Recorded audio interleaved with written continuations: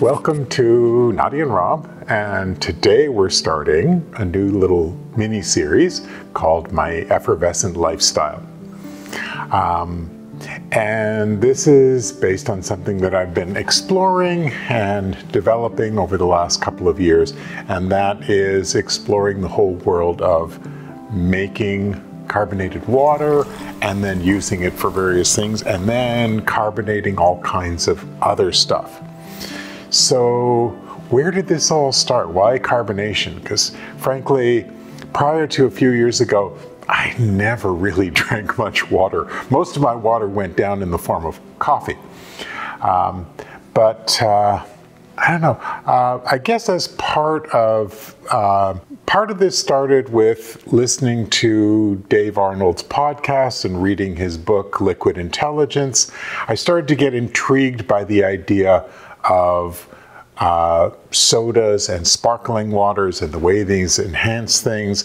So I decided to sort of jump into it a little bit. And uh, I thought rather than buying bottled water, which seemed like a terrible idea, I mean, I've for years, uh, when I have photo shoots in the studio, I actively discourage people from bringing bottled water because it just seems like such a horrible waste of materials and all kinds of things. So I didn't want to go down that route. So I thought, great, I'll make my own sparkling water. We have pretty good tap water here in Toronto, so I'll do that.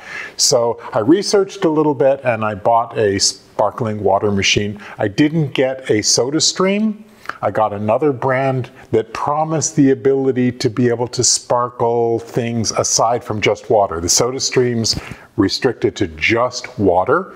Um, if you do anything else, you'll likely make a complete mess of it um, and void warranty. Uh, just don't go that route.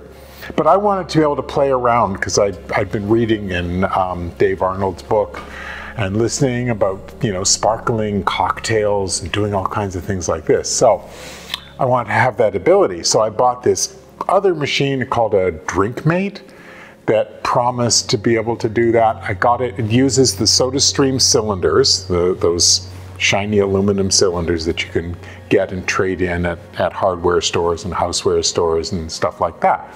So I thought, okay, great, I'll start sparkling things. Well, that was a bit of a disappointment. Um, it didn't really, it doesn't really carbonate all that strongly. And if I'm going to drink carbonated water, I want it to be, you know, a good amount of bubbles.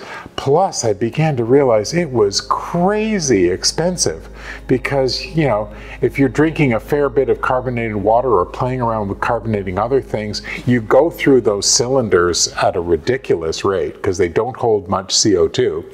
And trading in the cylinder, is like $25 to refill it.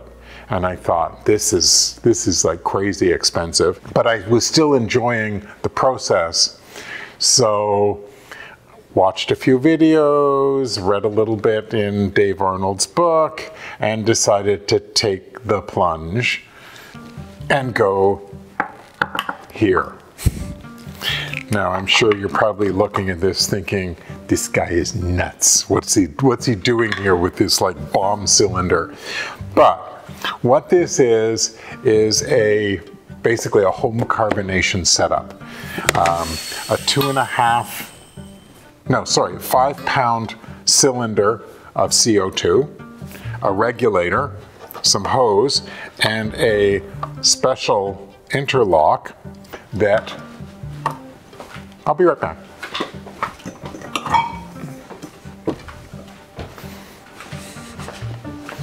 interlocks with this top. And this top fits on any standard soda bottle. So this is a regular, I've, I've decided I like the two liter soda bottles like, you know, that hold Coke or soda or whatever. You can get them at the grocery store. Um, they're usually, I usually get them when the products are on sale or something, so they're very inexpensive. And this locks onto all of them, and then this is used to pressurize them. Now I'm not going to go into all the, the how-tos of carbonation in this video because the next one we're going to release, we're going to show you where to get what you need here, how to put it together. It's really simple, doesn't require like fancy tools or anything, and then how to carbonate your water. And then in future videos, we're going to show how to carbonate other things like cocktails and coffees and all kinds of interesting stuff. And I've been playing around for the last couple of years with carbonating different things and flavoring carbonated water. And I've got some really nice ideas to share. So I think you'll like it. But first, you'll pro if you're going to be at all serious about drinking carbonated stuff, you're going to want to splurge on this. It's a little bit more expensive to start, but you earn the money back very, very quickly. So basically, just as a, a ballpark, um, I've provided a link to where you can buy this complete setup. There's a, um, um, normally you would get this kind of equipment at a brewer supply place, places that supply home brewers. They have the carbonation cylinders because you have to carbonate beer. Um, and the, the regulators, the hose, all that stuff. And I have a link to a company here in Toronto that has the whole kit put together for you at a really reasonable price. So their kit. Um, so let's compare. If you buy a soda stream, uh, you're going to be spending somewhere between 100 and 180 dollars for the machine and each cylinder the little cylinders right, cost like $20 to fill. And the little liter bottles, if you want extra ones for the soda stream, cost like $7 each, which is like crazy compared to this. Right? So if you buy this setup, right, the initial setup was like $225.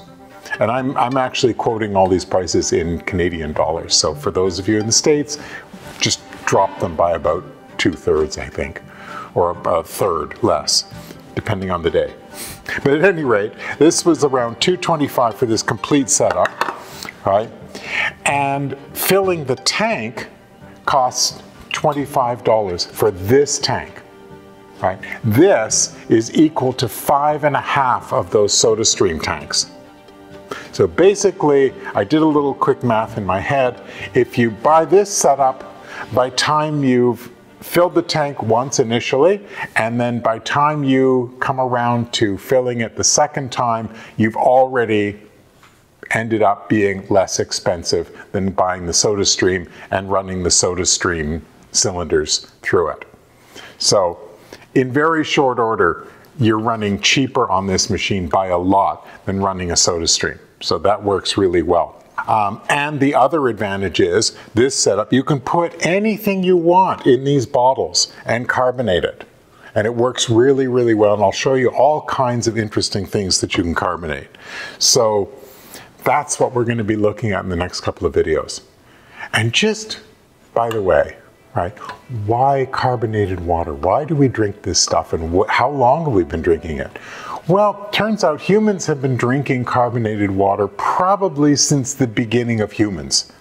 Because in certain places in the world, right, water is in, held under pressure in deep, deep wells, I guess. Not wells, but um, fissures in the rock.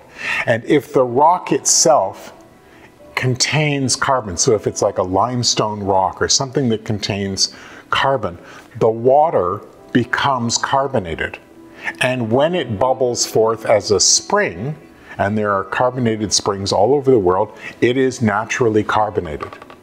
And humans have been drinking that, and they've been saying that drinking car these carbonated springs is good for you. It heals all kinds of ills. They're very popular during the plague. They thought they would help cure the plague, all kinds of things. So humans have been desiring carbonated water for a long time. But it wasn't until the in the mid 1700s that people started to figure out how we could like manually carbonate water. And it started off with one experimenter who basically, he was a brewer. And he took water and poured it from pitcher to pitcher over his beer brewing, which has a lot of carbon dioxide given off. And the carbon dioxide flowed into the water and made carbonated water. And that was sort of the start of manually making carbonated water. We eventually realized that if we do it under pressure, we can get a lot more carbonation into the water, and if we maintain the water under pressure, we can keep it carbonated. And it was in 1783, no, 17, uh, yeah, around the 1780s, a guy by the name of Schweppes came up with a machinery and a methodology to sort of mass produce carbonated water and then other beverages. He moved to London in 1783, founded the Schweppes Company, and the rest is carbonated history. So, we've been drinking carbonated water for a long time. We figured out in the, in the 1700s how to, what we call force carbonation, use CO2 under pressure to get that into the water and create really nice bubbly water that we can, if we keep it sealed, then it will maintain its carbonation. And I can talk a little bit about the science of carbonation as we talk about how we're going to use this to carbonate water and carbonate other things. So, welcome to my effervescent lifestyle, and we'll be digging in more in the future. Enjoy. Um, be sure to subscribe and hit the hit the like button if you like this, but also hit the subscribe and the alert button, the little bell, so that you can see when we post our upcoming videos, and you too can join in the effervescent lifestyle. Enjoy. Talk soon.